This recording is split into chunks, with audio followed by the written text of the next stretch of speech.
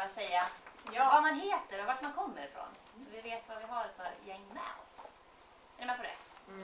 Bra. Vill vi börja? Ja, Anna Mann kommer från Ljusdals kommun. Jag jobbar som specialpedagog och jämställdhetsstrateg. jämställdhetsstrategist i kommunen. Mm. Mats Nilsson, eh, Sundsvall, eh, studievägledare på eh, kommunala gymnasieskolan. Lena Jonasson, rektor, Ljusdals kommun, centrala Ljusdal och en liten skola som heter Ramsjö, sex mil rätt in i skogen. Mimma heter jag, jobbar på Sundsvalls gymnasium som studie och yrkesvägledare. Ingela Tidlund heter jag, jobbar som fritidspedagog på Ulvsäterskolan i Gävle. Och där jobbar jag också som lärare då, på mellanstadiet, Harriet Malmström. Margot Hansen Sandviken, lärare, matematikutvecklare, måste tänka här. Så jag jobbar med implementeringen av Lgr 11 och så är jag politiker. Och jag heter Eva Seidlitz och jobbar också på Ulvsäterskolan i en tvåa. Och jag heter Osmo Savik och kommer från Medieverkstan på Söderhamns kommun. Great. Bra. Du med. Och Osmo kommer filma seminariet. Ja, försök i varje fall. Försöka. Det är Ja. dåligt ljus inne här så. Vi har varnat att vi kommer vara lite ostyriga. Men... Ja, Ja. det Ja. ni är inte ensam om det. Ja. Eh, tillsammans idag så tänkte vi prata lite grann om eh, barn och unga, barn och ungas delaktighet och inflytande och utgå lite från vår strategi som vi har fått. Eh, du var ju inne på vad region, känner ni till Region Gävleborg? Allihopa vet ni vad det är? Eh, ett samarbetsorgan som ägs av länets tio kommuner och landsting. Eh, vet inte mycket mer man behöver säga om det. Vi jobbar med, vi har ett regionalt utvecklingsansvar för tillväxt här i länet. Där jag och Therese jobbar med barn och unga. Eh, ja, Mm. Vi driver en del projekt eller finansierar projekt som den här konferensen till exempel. Där vi är med och finansierar och en hel del andra. Vi tänkte visa en kort bild sen på några som rör det här området lite mer. Mm. och sen får ni fråga saker under vägen. Vi kör på lite snabbt sådär Ja. så hinner vi till diskussionsövningarna för det är det som man orkar med fredag eftermiddag tänkte vi. Och Håller ni på och somnar så får ni ta eget ansvar för att ställa er Ja, vi blir inte ledsna för det. Nej. Nej, vi tycker att det är bra. Så här står det i den här strategin som förhoppningsvis räckte nästan laget runt. Inte till dig. Jo, ja, jag tog den. du tog en. Ja. Vad bra. Vi, vi fick det. Det fattar sen, men då ska vi fixa det sen. Eh, men det här är liksom visionen som våra politiker har tagit fram och som eh, vi strävar efter i det här arbetet. Eh, och den här strategin är ju ingenting bindande för, de, för våra kommuner, fast det faktiskt är våra kommuner som tillsammans har tagit fram den. Men vi kan på olika sätt jobba med motivation för att vi ska jobba tillsammans åt det här hållet. Konferenser eller finansiera projekt eller bidra själva med olika processer. Det är ju det sättet vi kan styra på från regionen. Ehm, I Gävleborg har du alltid inflytande och delaktighet i de frågor som rör dig. Och här menar man ju barn och unga, men på sikt så skulle man ju vilja att det här gällde för alla. Att alla känner att jag har makt över mitt liv och jag känner att jag har ett sammanhang. Ehm, det finns fem framtagna mål för den här strategin. Ehm, barn och unga ska ha reellt inflytande över såväl sin personliga situation som samhällets utformning. Och vad är reellt inflytande? Det går ju att säga, jo men du får ju tycka till om du vill, det är ju bara att säga till liksom. Eller så måste man problematisera det lite mer. Vad betyder det egentligen? Och om vi menar både sin personliga situation och samhällets utformning. Alltså det handlar ju på något sätt om både mig kanske på fritiden, mig just nu i skolbänken, mig och mina möjligheter framåt. Men också liksom, vart sjutton ska cykelvägen dras och hur ska jag och du som är politiker prata med varann? Det kanske handlar om hela strukturen och hela systemet. Och så har politikerna pratat och så har man också menat och det känns som att där har man liksom satt ribban på något vis. Det här är en fråga som är ganska stor och komplex och som liksom ska röra hela samhällssystemet. Och barn och unga som växer upp i Gävleborg ska ges flera möjligheter att utveckla sina entreprenöriella kompetenser och kommer därigenom att lätt få delta i samhällsutvecklingen genom ideella engagemang, företagsutveckling eller andra områden. Så här menar man ju entreprenörskap är precis som de pratade om på förmiddagen, inte att bli företagare bara. Det kan vara det, men det kan också vara hur mycket annat som helst. Mm. Eh, om vi ska skapa regional hållbar utveckling genom att barn och unga ser sig som ambassadörer och vill bo och leva här nu i framtiden. Här nu och i framtiden. Eh, vi vet ju att mer än hälften av våra unga faktiskt vill bo kvar i sin kommun eller en liknande kommun. Det har vi ett jättebra utgångsläge. Men det är också väldigt många som, som känner att de inte riktigt tillhör den orten eller känner ett band till den ort eller vår region.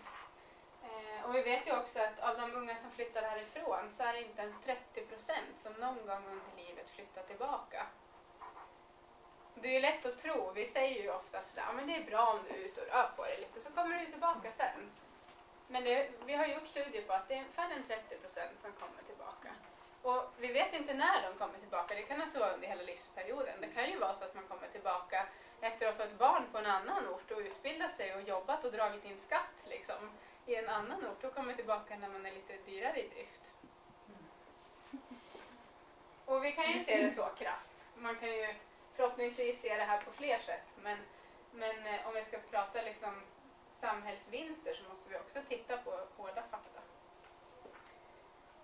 Vi ska ta fram en regional policy för ett barn och ungdomsperspektiv inom vår egen organisation. Men det som kanske är mest spännande är att varje kommun faktiskt har sagt i och med det här dokumentet och landstinget att vi ska ta fram både en lokal policy för ett barn och ungdomsperspektiv, alltså barn och ungdomsperspektivet i beslut. Och det är ju beslut inom skolan, det är ju beslut i nämnder, beslut på tjänstemannanivå. Men också ett sektorsövergripande handlingsprogram. Man har faktiskt sagt att nu ska vi komma fram till hur vi blir ännu bättre. Och det är ju faktiskt har kommit till det. Nu tar vi den här frågan på allvar och alla har sagt att nu ska vi göra någonting.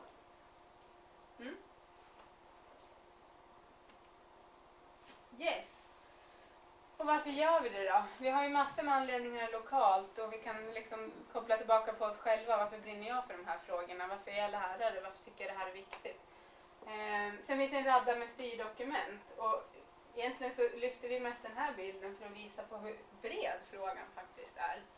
För det handlar ju om allt ifrån att EU säger att medborgaren och entreprenörskap, det är det som ska vara i fokus fram till 2020, nya EU-strategin. Men också barnkonventionen, det här är ju ett sätt att jobba med barnkonventionens 54 artiklar.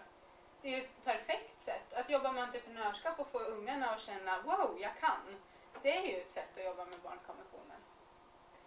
Den nationella ungdomspolitiken, som jag ska visa en liten bild. Läroplanerna och målen för folkhälsan inte minst. Alltså det delaktighet och inflytande, det är det största målet. Och det kan ju vara en riktig flufffråga som är jättesvår att veta hur man ska jobba med konkret. Hur ska våra medborgare i våra kommuner eller regioner känna att vi jobbar med folkhälsan? Ja, men det kanske börjar redan på förskolan. Det är kanske där vi har möjligheten att påverka allra mest. Mm. Den nationella ungdomspolitiken, är det någon som har jobbat med den någonting eller sett dokumenten? Nej. Ehm, den är mycket, vi har hämtat mycket från den när vi har tänkt på regional nivå vad vi kan göra. Och det som, som är allra viktigast det är det här breda perspektivet. Barn och unga ska ha inflytande i alla områden som faktiskt rör barn och unga. Det är ju faktiskt lite så att oavsett hur himla bra skola vi har eller hur rik fritid man har, om det inte finns ett enda jobb att få så kvittar det nästan. Allt hänger ju ihop liksom.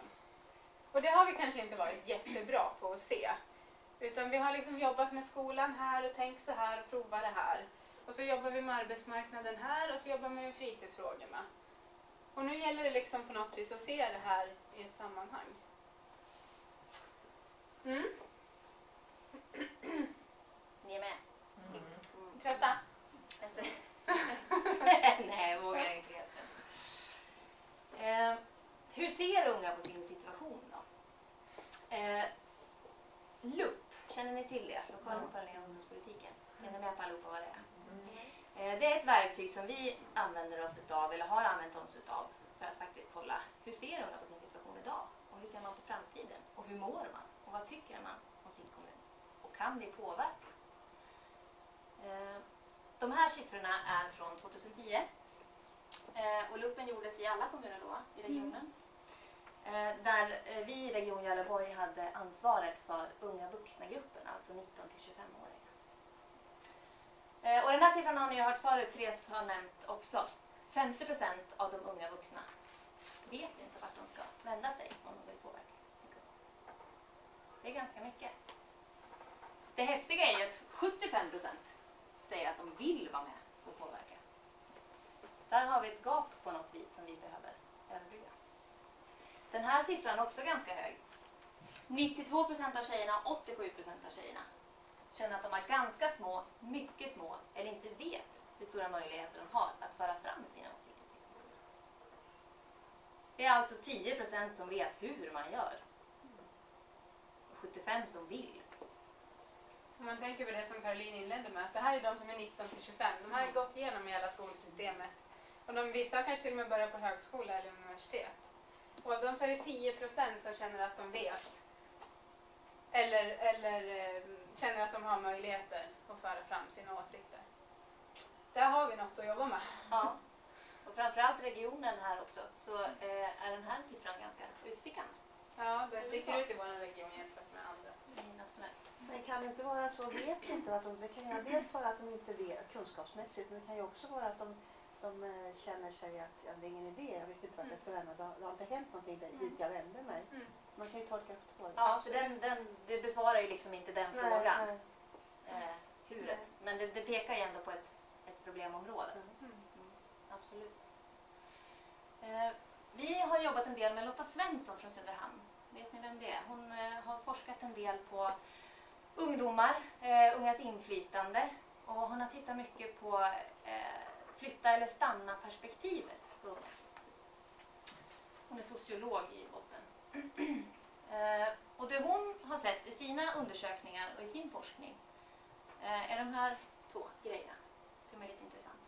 70 procent av de unga ur medelklassen, och när vi säger medelklassen här så menar vi att man har båda föräldrarna som har högskoleutbildning av någon form, tror att lokalpolitikerna vill att de ska bo kvar.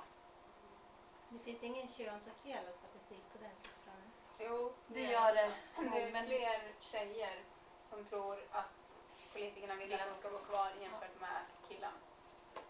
All den statistiken finns i en rapport som heter Vinna eller försvinna. Den går att ladda ner som pdf. 30 procent ur arbetarklassen, då har man alltså två föräldrar som inte har högskoleutbildning i bagaget. Tror att lokalpolitikerna vill att de ska bo kvar. Det är en markant skillnad. Och det här är också en utmaning som vi står inför i, våra, i många av våra kommuner i länet. Och det är ju kanske inte så jättetrevligt att det är 70 procent bara som tror att samhället vill att, politiker, att politikerna vill att man ska stanna kvar.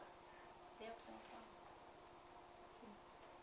Men jag trodde nästan att det skulle ha varit tvärtom Mm. faktiskt. För det är väl ofta så att det kanske är de här som flyttar iväg och pluggar Ja, någonstans ja, och, och i värsta fall inte flyttar hem igen. Ja, precis. Och de här kanske bor kvar här och har en idé om att jobba i ett lokalt företag Ja. eller så. Och vad händer då med din fråga där? Alltså, ja men vad beror det här på? Det kanske är för att man känner att man har försökt någon gång. Och, och vad blir då konsekvensen om så här Mm. få av de som bor kvar tror att de är efterfrågade? Ja. Det är ju riktigt... Är det samma Mm. siffra där för fler tjejer där också i den gruppen eller är det ingen? Ehm, jag är inte Det säker, inte men, men överlag kan man säga att det som hon har hittat mellan könen det är att tjejerna känner sig överlag mer efterfrågade än vad killarna gör. Mm. Det kan man, ju, kan man kanske också se ett mönster av de här ytterkommunerna då, som, som jag befinner mig i. Att man kan se att tjejerna är mer efterfrågas på det sättet att det finns ju mer alltså, kommunal verksamhet för kvinnor Mm. än vad det finns för, för männen. De måste nästan alltid på något sätt driva sitt eget företag eller ja, Mm. på något sätt hitta egen försörjning. Liksom. Mm. Äga någon skogsmaskin eller Mm.